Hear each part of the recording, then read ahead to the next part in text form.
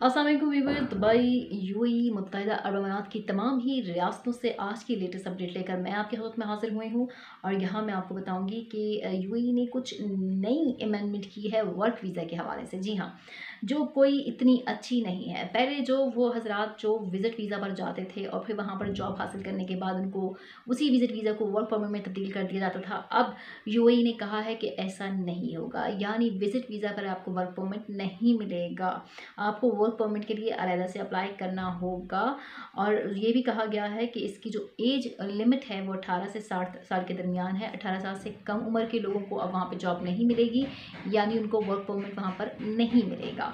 ये latest update है UAE Dubai की जानब से। और यहाँ मैंने आपको पहले ही बता चुकी हूँ कि इस वक्त यूएई ने जो है वो जो तेरह चौदह ममालिक पाबंदी लगाई हुई है single male category visit visa पे।